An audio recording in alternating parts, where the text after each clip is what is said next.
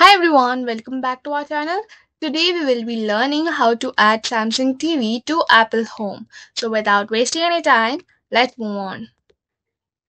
So before we begin, it's important to note that only Samsung Smart TVs that are AirPlay compatible can be added to HomeKit.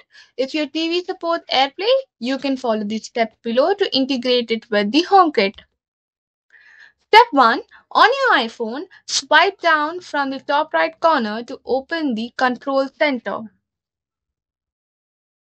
Step 2.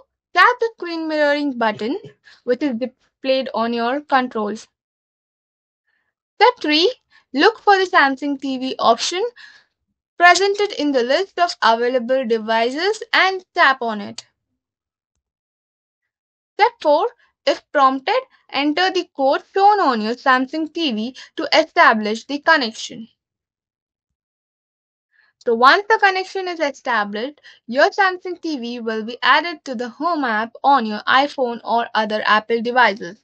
This means that you can now control your TV using the Home app or Siri, voice commands on your iPhone. That's all for the video. Thanks for watching. If you like the video, do hit the like button and don't forget to subscribe to our channel. Until then, take care. Bye-bye.